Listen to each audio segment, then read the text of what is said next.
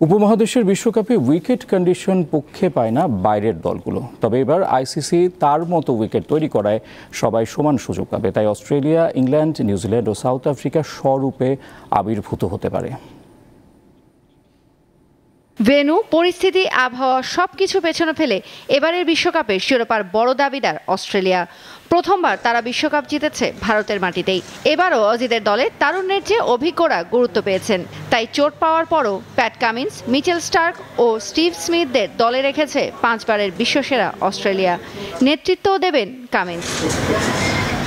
বিশ্ব র্যাঙ্কিংয়ে পাঁচে নেমে গেলেও ফর্মের বিচারে এবারের আসরে শক্তিশালী অবস্থানে বর্তমান চ্যাম্পিয়ন ইংল্যান্ড। চলতি বছর কোনো ওয়ানডে সিরিজ হারেনি জশ পাটলারের দল। তারাও দল গড়েছে অভিজ্ঞদের নিয়ে।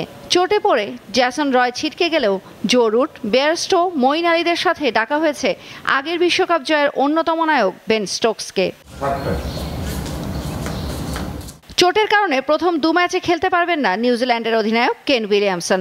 তারপরও কিউইদের শিরোপার স্বপ্ন পূরণে তার ব্যাটের দিকেই তাকিয়ে থাকতে হবে।